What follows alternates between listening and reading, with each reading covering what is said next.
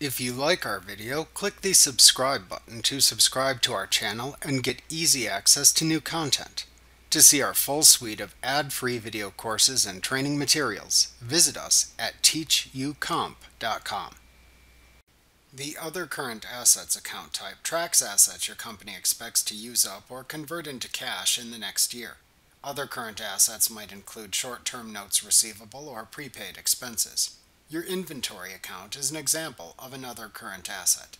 Let's take a prepaid rent other current asset account as an example. Assume you signed an agreement to lease a new office space for $1,000 per month. Also assume you must prepay six months worth of rent before you can move into the new office space. If using the accrual accounting method, you must attribute expense to the period it is incurred, not when you actually pay it.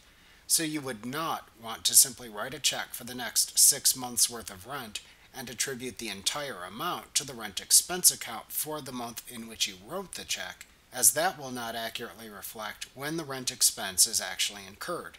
Instead, you use the other current asset account of prepaid rent to help show the rent expense as it is actually incurred. To check if the prepaid rent account exists, click the Settings button in the QuickBooks Online toolbar and then click the Chart of Accounts link to open the Chart of Accounts page and find the prepaid rent asset account. If no prepaid rent account exists, click the New button in the upper right corner to create the account. For its account type, select the Other Current Assets choice. From the Detail Type dropdown, select Prepaid Expenses.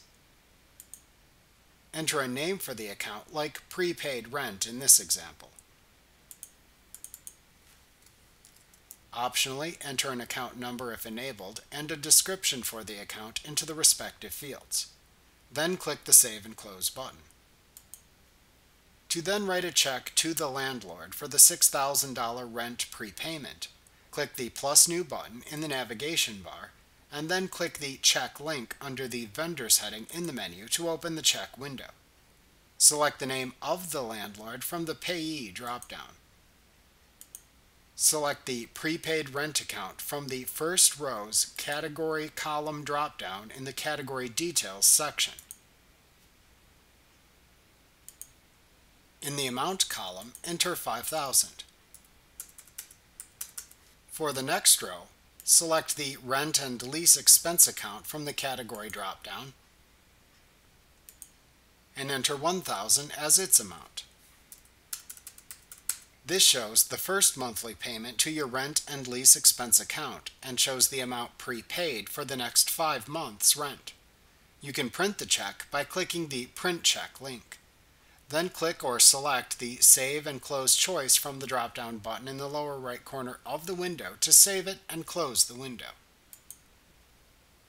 The next month, you can create a monthly recurring journal entry for the next five months, crediting 1000 from the prepaid rent account and debiting the rent and lease expense account in the period it is actually incurred.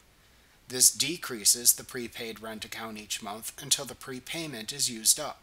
The rent and lease expense account then properly shows when the rent expense is incurred.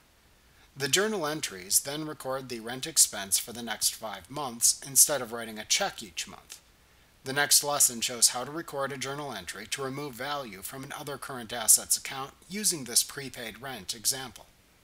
Remember to click the subscribe button to see more of our videos. Get ad-free courses at teachucomp.com.